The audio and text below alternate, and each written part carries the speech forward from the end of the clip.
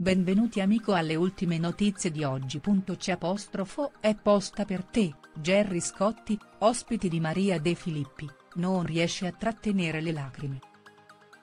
Le sue parole.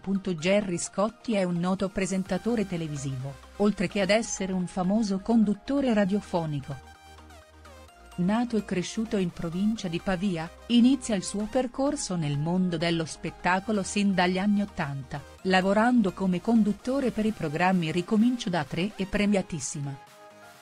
Si afferma pian piano nel piccolo schermo e nel corso degli anni successivi diventa uno dei volti più noti della televisione italiana.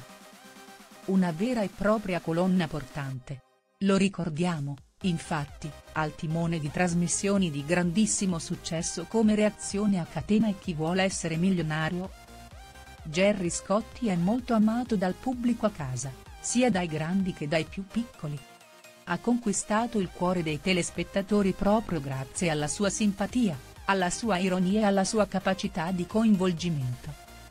Ha un legame molto stretto con Maria De Filippi con la quale lavora da diversi anni.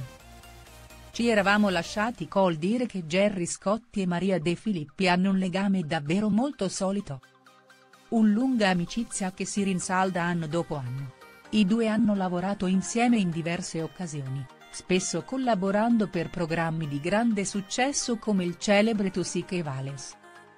Il conduttore è stato diverse volte ospite della trasmissione C'è posta per te, ha partecipato, infatti, proprio alla puntata conclusiva di questa edizione che ha visto Maria De Filippi tornare in prima serata dopo la scomparsa di Maurizio Costanzo.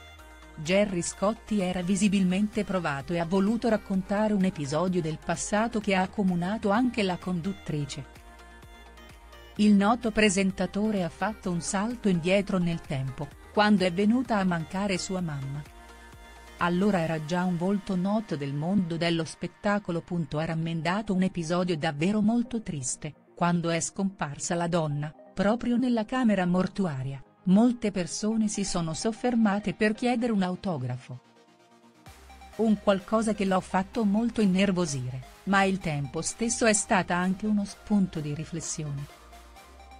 Scotti si è fermato un attimo e si è chiesto che cosa avrebbe voluto la madre ragion per cui ha continuato anche in quell'occasione così triste a firmare autografi a tutti coloro i quali glielo chiedevano.